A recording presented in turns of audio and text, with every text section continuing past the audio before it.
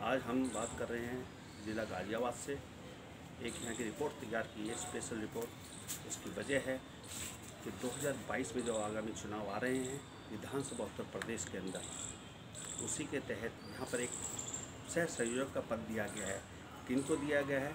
वे हैं सचिदानंद रॉय जी, जो कि पूर्व में डीआईजी रेवेन्यू उत्तर प्रदेश में रहे हैं। सरकार ने इनको ज़िम्मेदारी दी है यहाँ से संगठन को मज़बूत करने की यहाँ से अपनी गरिमा को बरकरार रखने की भाजपा को। वैसे तो भाजपा ने यहाँ पे पूरे में परचम फैला रखा है, लेकिन आने वाले चुनाव में इनकी क्या रणनीतियाँ होंगी तो उसी के तहत सच्चिदानंद रॉय जी को यहाँ से पद दिया गया है सह संयोजक का। डीआईजी रेवेन्यू पद से रिटायर सच्चिदानंद रॉय ने रिटायरमेंट के बाद गाजियाबाद से भाजपा के सह संयोजक पद को ग्रहण किया। पार्टी को क्षेत्र में मज़बूत करने और कार्यकर्ताओं में बल फूकने के लिए भी जनता ने सच्चिदानंद रॉय का दिल से स्वागत किया। राय साहब को पूर्वांचली होने का भी पूरा फ़ायदा मिलेगा। राय साहब ने अपनी गाजियाबाद में पहली कॉन्फ्रेंस की और जनता का बहुमत मिलते देख 2022 का चुनाव लड़ने से भी गुरेज नहीं किया। जैसे ये तो हमारी सरकार है, सुशासन की सरकार है।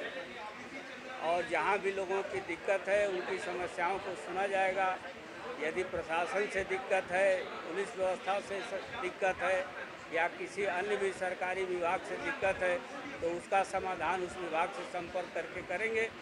और जो विकास के कार्य हैं, जहाँ पे गलियाँ नहीं हैं, सड़कें नहीं बनी हैं, गंदगी है उसके समाधान के लिए जो भी विभाग उस कार्य को करता है, उससे संपर्क करके और उसको कराएँगे।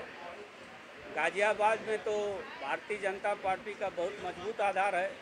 पूरे उत्तर प्रदेश में भारतीय जनता पार्टी का आधार बिल्कुल मज़बूत है और पिछले वर्ष से सत्रह के चुनाव से अधिक सीटों से भारतीय जनता पार्टी बाईस का चुनाव जीतेगी। इसके साथ साथ उनका कहना है कि आगे पार्टी का फैसला होगा। बहरहाल आगे क्या स्थिति बनेगी ये तो वक्त ही बताएगा।